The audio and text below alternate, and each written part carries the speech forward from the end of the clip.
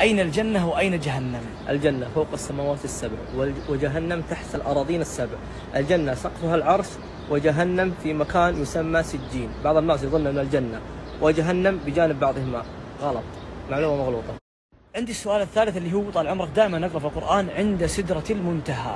وش هي سدرة المنتهى؟ س- سدرة المنتهى شجرة جذورها في السماء السادسة وممتدة إلى السماء السابعة. أوراقها كأذان الفيلة.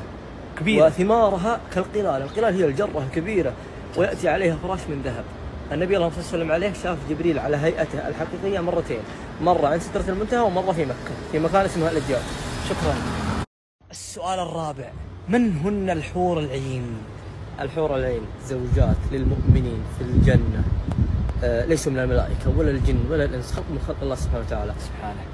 لو اطلعت إحداهن على على الدنيا لأضاءت ما بين المشرق والمغرب. يا الله. وش معنى الحور العين؟ وش معناها الحور هي شديدة السواد سواد البؤبؤ وشديدة البياض. العين هي واسعة العين. يا سلام. سلام. شكرا. اللي بعده. سلام. عرفنا الحور العين.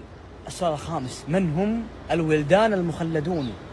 الولدان المخلدون خدم للمؤمنين في الجنة. ما هم من الجن ولا الإنس ولا الملائكة خلق من خلق الله سبحانه وتعالى. الكل أقل شخص منزلة في الجنة له عشر آلاف من الولدان المخلدون هذول يخدمونه. يا الله. يا أقل واحد في الجنة واحد. آلاف له عشر آلاف. شكرا. اللي بعده. السؤال اللي بعده. ما هي الأعراف اللي مذكورة في سورة الأعراف؟ العرف سور عند الجنة يقف عليه الناس اللي تساوت حسناتهم وسيئاتهم. يأكلون ويشربون مدة من الزمن. إلين الله يقضي فيهم ويدخلهم الجنة.